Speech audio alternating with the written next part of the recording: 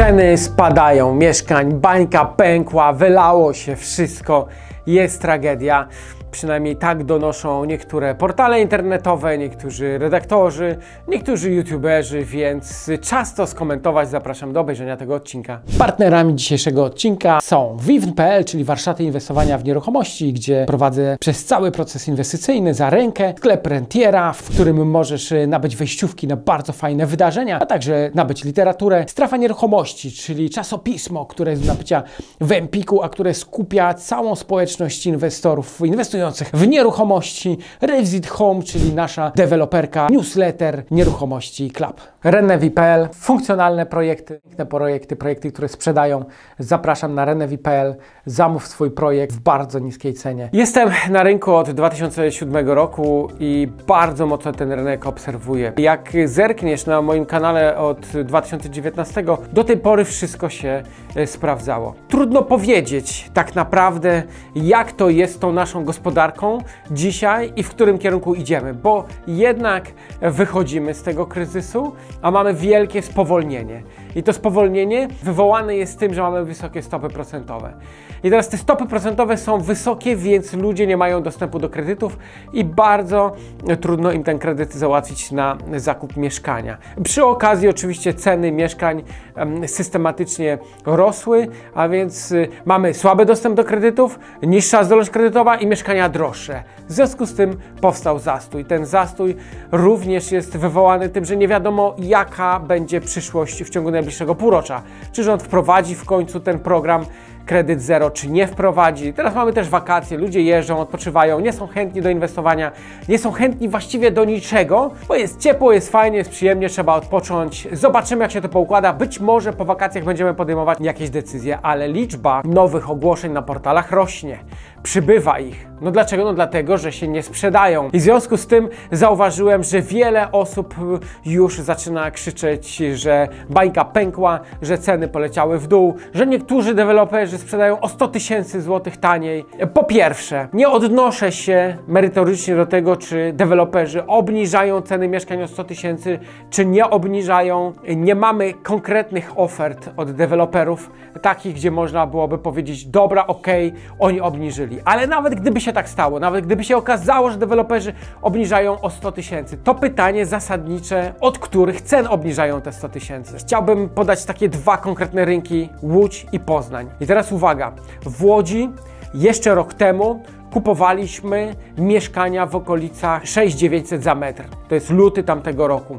To są perełki oczywiście, to są takie mieszkania z podlady. Następnie w wakacje okazywało się, że możemy otrzymywać mieszkania między 7200 a 7500 za metr kwadratowy w Łodzi i uwaga, to jest rynek oczywiście pierwotny i to są metraże takie do 50 metrów kwadratowych. Mamy upływ czasu i wzrost wartości, bo najpierw po 6900, potem po 7200, a już na jesieni kupowaliśmy po 8000 zł za metr kwadratowy, czyli widać było systematycznie, że ceny rosną, a gdybyśmy się cofnęli jeszcze lata wstecz, to by się okazało, że mogliśmy kupować jeszcze taniej, bo półtora roku temu chociażby na Senatorskiej kupowaliśmy po 6500, a w innej lokalizacji na Senatorskiej 2,5 roku temu w okolicach 5800 zł za metr kwadratowy, czyli mamy cały czas systematycznie wzrost. Równolegle jest wielu deweloperów, którzy budowali, ale wystawiali te ceny o wiele wyższe, czyli po 9000 zł za metr kwadratowy, po 10, po 11 tysięcy zł za metr kwadratowy. I to już były takie ceny, które mnie osobiście nie interesowały. I ja mówię tutaj o zwykłych blokach, w zwykłych lokalizacjach, bo co innego są oczywiście centrum ścisłe, tam mieszkania usytuowane i jeszcze w ogóle mieszkania premium, które notabene można e, kupować i po 14 tysięcy złotych. Uwaga, Kilińskiego 12.pl to jest inwestycja, e, którą współrealizuję, e, słoneczne tarasy i tam też systematycznie od 3 lat, czyli od początku budowy podnosiliśmy ceny. Dzisiaj tam ceny są po 14 tysięcy złotych za metr kwadratowy, ale to są nieruchomości premium. To jest całkowicie inna jakość budynku, pięknie zrobiona, dobrze wykonana, z bardzo dobrych materiałów, technicznie wykonana bardzo dobrze. Tam mamy windy wjeżdżające do apartamentów, tam mamy tarasy, które stanowią część mieszkania, e, tam mamy bardzo grube ściany, mamy zastosowane materiały i okna, które są dźwiękoszczelne, czyli to jest całkowicie coś innego niż zwykły blok. I teraz uwaga, tu mamy po 14, ale w międzyczasie są też deweloperzy, którzy sprzedają mieszkania w zwykłych blokach po 11 tysięcy, czyli jeżeli ja jako przeciętnie Kowalski mogę sobie pójść i kupić po 8 tysięcy, a ktoś sprzedaje po 11 tysięcy, to co wybieram?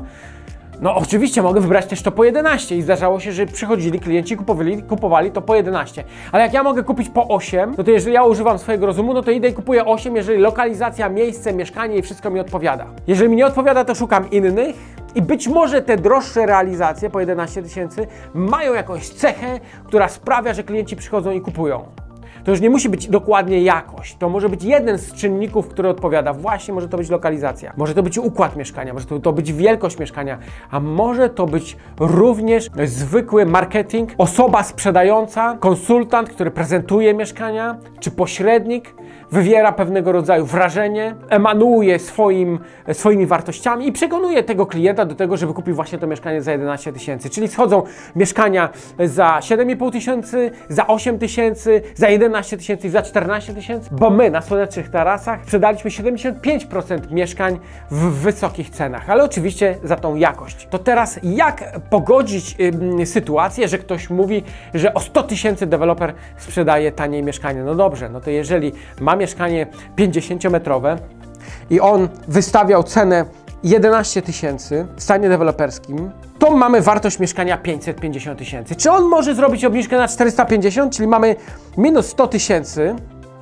i mamy cenę 450 tysięcy i teraz to 450 tysięcy dzielimy na 50 metrów, to jest 9 tysięcy złotych za metr. Jest to cały czas drożej niż mieszkanie, które cały czas można znaleźć w Łodzi, a które jest na lepszych, w tych atrakcyjniejszych warunkach cenowych, czyli po 8 tysięcy, bo i takie mieszkania dzisiaj można w Łodzi kupić. Jeżeli mm, portale internetowe miały powystawiane ogłoszenia w tych droższych cenach, które się nie sprzedawały, bo deweloper sobie tą cenę zawyżył z jakiegoś powodu, mógł zawyżyć tylko z powodu zyskowności, to jeżeli obniża tą cenę, to nie znaczy, że ceny nieruchomości spadają. Tylko po prostu deweloper schodzi ze swojej marży, to po prostu deweloper robi promocję, deweloper schodzi do normalności, ponieważ być może za bardzo bujał w obokach.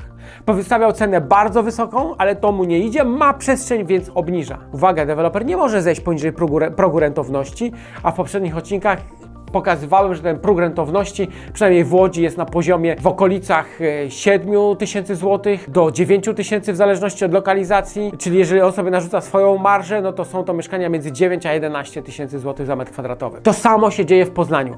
Jeżeli w Poznaniu są mieszkania po 14 tysięcy złotych za metr kwadratowy, po 13 i po 12, a my kupujemy na przykład na Zaciszu Marcelin po 10 400, bo po tyle ostatnio e, Atal sprzedawał, to e, jeżeli tamten deweloper który sprzedawał po 11 czy 14, obniża o 100 tysięcy złotych mieszkanie, to czy ceny nieruchomości spadają? Nie, po prostu deweloper schodzi na ziemię i nie można powiedzieć, że tutaj bańka cenowa pęka. W ogóle jaka bańka? Zerknijmy do raportu UBS. UBS opracował raport, w którym pokazuje, że ceny mieszkań w Warszawie, ceny mieszkań w Polsce są odpowiednio wyszacowane. Oczywiście istnieje ta bańka na rynku nieruchomości, ale w innych państwach. Co to jest bańka cenowa? Bańka to jest tak napompowane ceny mieszkań w stosunku do zarobków, co sprawia, że nie jest możliwym sprzedaż, że nie można tych mieszkań sprzedać i wtedy następuje obniżenie cen. Ale żeby do tego doszło, te ceny nieruchomości muszą być odklejone od rzeczywistości, a w Polsce tak nie jest. Tutaj popieram się raportem UBS. Dzisiaj przeciętny Polak musi przepracować 6-7 lat, żeby sobie kupić mieszkanie. Oczywiście można krzyknąć wraz za Biedroniem, że przecież młodych Polaków nie stać na zakup mieszkań. I to jest prawda, że nie stać, ale kiedy było stać? Gdzie było stać czy w ogóle będzie stać? No nie, bo młody człowiek, mieszkanie jest dobrem, którego nie można kupić za gotówkę, bo nasze zarobki są za małe, były za małe i będą za małe. I tak jest na całym świecie, tak jest w Unii Europejskiej i tak jest w Europie. Młody człowiek albo musi dostać bardzo, bardzo dobrą pracę, czyli załóżmy programista, który zarabia 20-30 tysięcy miesięcznie, w 3 miesiące uzbiera sobie stówę i okazuje się, że mija 3-4 lata i on może kupić za gotówkę mieszkanie, kawalerkę może kupić. To tylko taka możliwość.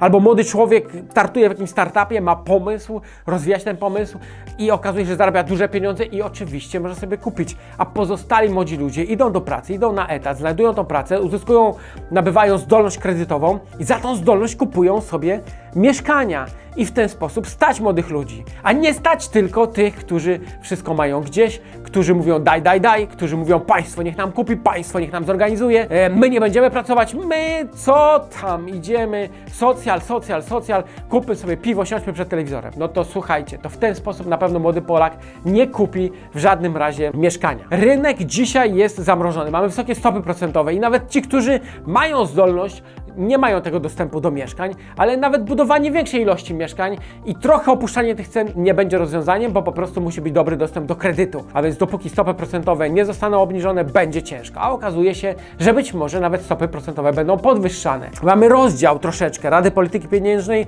od rządu. Rada Polityki Pieniężnej, czyli pan Glapiński, który został jeszcze zabetonowany z poprzedniej kadencji rządu, nie współpracuje z nowym rządem i raczej nie będzie chciał współpracować, więc będzie raczej robił na przekór. Być może rząd chciałby obniżyć stopy procentowe, żeby rozruszać gospodarkę i pokazać, jak to się dobrze wiedzie w Polsce, szczególnie przed wyborami prezydenckimi, ale trudno powiedzieć, czy to będzie możliwe, bo niestety Glapiński chyba będzie chciał inaczej. Raczej jeszcze pokazać, że jest trudniej, że jest jeszcze gorzej. Z drugiej strony mamy jeszcze racjonalność, czyli jakby nie patrzeć, mamy w tej chwili uwalnianie cel, cen energii. Niewykluczone, że masa pieniędzy napłynie z KPO, czyli tworzy nam się znowu potencjał do inflacji. A żeby nie doszło do tragedii, no to te stopy procentowe muszą być wysokie. Więc może się okazać, że w czasie jeszcze obniżenie stóp procentowych i dostęp do kredytów będzie oddalony, a wtedy będzie spowolnienie magazynowanie mieszkań, raczej nie sprzedaż, ale nie widzę tutaj takiej możliwości, żeby ceny spadły aż o tyle, bo moi drodzy, jeżeli deweloper obniża cenę mieszkania o 100 tysięcy, jest to 50-metrowe mieszkanie, to 100 tysięcy podzielone na 50 metrów daje nam wynik 2000 zł obniżki na metrze. No to ja przepraszam, to jeżeli dzisiaj, e, do dzisiaj w Łodzi można było kupić mieszkania po 9 i 10 tysięcy, a w Poznaniu po 11 tysięcy, to znaczyłoby, że w Poznaniu już można kupić po 9, co jest niemożliwe, i w Łodzi można kupić w takim razie po 7 tysięcy, gdzie ja takich mieszkań nie widzę. Więc y, to jest tylko absurd, to jest nagonka, to jest dzisiaj robienie szumu, bo tylko takie filmy się oglądają, tylko takie tytuły przykuwają e, wzrok. Ja myślę, że jest to czas na skupowanie mieszkań do portfela, przeczekanie tego trudnego okresu i sprzedaż z zyskiem. A zobaczycie w międzyczasie, jeszcze będą takie statystyki podane na koniec roku, że jednak w tym roku mimo wszystko te ceny nieruchomości wzrosły. Czekamy w takim razie na koniec roku, czekamy na to, żeby w gospodarce działo się lepiej, czekamy na obniżenie stóp procentowych i problemy w ten sposób się rozwiążą, bo dzisiaj mieszkań jest wiele, tylko nie można je kupić. Pozdrawiam Cię serdecznie, subskrybuj kanał, obserwuj, klikaj w linki, które są na dole i zapraszam do oglądania webinarów Wojciech Orzechowski.